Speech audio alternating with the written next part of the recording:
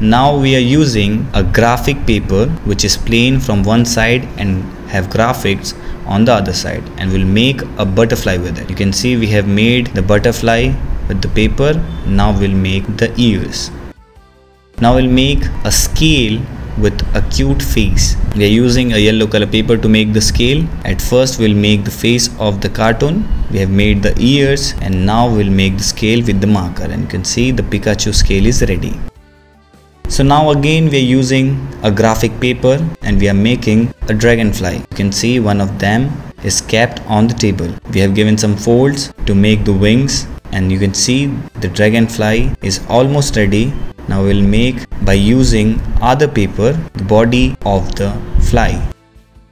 Now we are making an octopus with the paper we have made a diamond shape with it. And after doing that we'll fold it as shown in the video. It is very easy to make. I know it's look difficult but it is very easy. So you should try. So we have made the legs of the octopus by cutting it with the scissors. And now we will draw the face